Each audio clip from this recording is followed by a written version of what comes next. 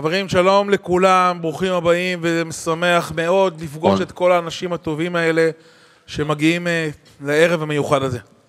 So first of all, thank you everyone for being here. It's very, uh, it's very powerful and, and empowering to see all these important people who came here today.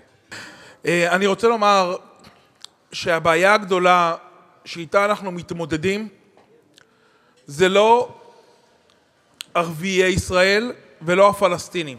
I want to say that the big challenge that we are facing today is not the Arabs of Israel, the Israeli Arabs, and not the Palestinians. הבעיה הגדולה שאנחנו מתמודדים זה שחלקים גדולים מהציבור היהודי בישראל לא מאמינים בצדקת דרכנו. The big problem that we are facing today is that many parts of the Israeli public do not believe in our right, in the right of our way. חלקים גדולים בציבור בישראל לא מאמינים שיהודה ושומרון שייכת לעם היהודי. Big parts of the public and the society in the state of Israel, in Israel, do not believe that Judea and Samaria belong to us. חלק, חלקים מהם מעדיפים להתעלם מההיסטוריה, להתעלם מהמורשת, להתעלם מהמציאות והעובדות כדי לספר סיפור שהוא סיפור לא אמיתי, לא נכון, ולמרבה ההפתעה גם לא מצליח. Part of them want to ignore the history, to ignore the heritage, to ignore the facts, to ignore the reality, and create a false and fake reality, a fake story. אני מחזיק פה בכיס, הראיתי את זה אתמול בכנס של בשבע, מוצר מדהים, טבעת מלפני אלפיים שנה, שנמצאה ביהודה ושומרון. I'm holding here a, an artifact that I presented also at the Jerusalem conference, a ring, לפני כמה שנים? 2000 שנה, 1800. 1,800 years ago it was found in Judea and Samaria. על הטבעת הזו, שאני לא יודע מה המחיר שלה, אם בכלל יש לה מחיר, טבעת שנמצאה בהר גריזים, כתוב במפורש י', ה', ו', ה', 1. שם אחד. On this ring, which was found near uh, the community of Harbracha, near the tomb of Joseph, uh, it is said the name of Hashem, name of God, is one. God is one on this ring. זה לא כתוב בערבית, זה לא כתוב במוסלמית. זה כתוב בעברית, אתם יכולים לבוא ולראות את זה. It's not written in Arabic, it's not written in any Muslim uh, other language. It is written in Hebrew, and you could come see this soon. זו הטבעת המקורית. It's the original ring. כשאנחנו לא מדברים על הזהות שלנו, כשאנחנו לא מדברים על ההיסטוריה שלנו, אנחנו מתנתקים מעצמנו.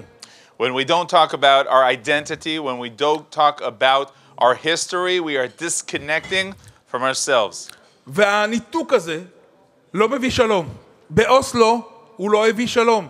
And this disconnect does not bring peace. In Oslo, it's exactly this disconnect that created something that was far from peace. שקר אין לו רגליים, שקר לא מצליח לעבוד.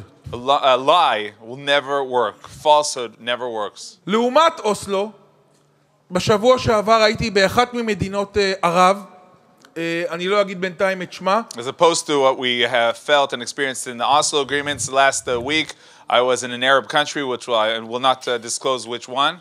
ואמרתי במפורש שארץ ישראל שייכת לעם ישראל. And I set out clearly that the land of Israel belongs to the people of Israel. ולמרבה הפלא, לא רק שזה לא הרחיק אותם מאיתנו, אלא זה חיבר אותם אלינו. And surprisingly, this didn't deter the people who heard it there in this Arab state, rather connected them to my message, to what I was saying. ברמה שהם מוכנים לעשות איתנו פרויקטים משותפים. They're willing to do projects, uh, co- projects together in cooperation with the ministry. על פרויקטים שמספרים את ההיסטוריה, את ההריטג' של, ה- של ה- אה, העם היהודי. Projects which tells the history, the heritage, the story of the Jewish people. כשיצאתי משם אמרתי לעצמי, הם לא הבעיה, אנחנו הבעיה. When I went out of there, I said to myself, they're not the problem, we're the problem. אנחנו לא מספיק גאים במי שאנחנו, אנחנו לא מספיק שמחים במי שאנחנו, אנחנו לא מספיק מבינים כמה שאנחנו טובים וכמה שהארץ הזו היא שלנו. We're not proud enough of each of ourselves. We're not happy enough with our own identity. We don't understand what we have, how much good we have with the fact that the land is in our hands. בישראל היה סופר שנפטר לא מזמן, קראו לו עמוס עוז. באחד הספרים שלו הוא, הוא סיפר ש, שהוא ציוני, אבל הוא ציוני עצוב. ואני רוצה לומר לו, אנחנו ציונים אוהבי ארץ ישראל ואנחנו ציונים שמחים. An Israeli author from the left, Amos Oz, who passed away, wrote once that he is a Zionist, but he is a sad Zionist. And I want to tell him, says uh, Minister Eliyahu, we are happy Zionists, very happy and uh, uh, full of happiness. And that, that really, אנחנו. אנחנו גאים במדינה הזו, we're proud of the country. אנחנו גאים באחים שלנו שנמצאים פה בארצות הברית, We are also proud of our brothers that are here in the United States. אנחנו גאים בצבא שלנו, We're proud of our army, בעיקר כשהוא נלחם. especially when it fights against our enemy.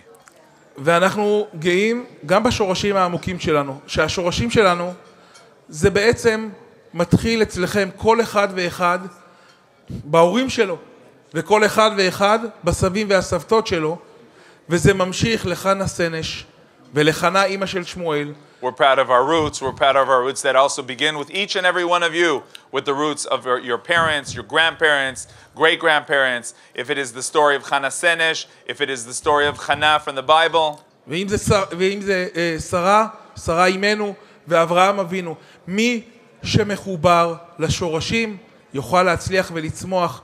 תודה רבה לכם על מי שאתם, וערב טוב. whoever is connected to the roots can flourish, can develop. Thank you for very much for what you're doing here. Good evening to everyone. תודה רבה.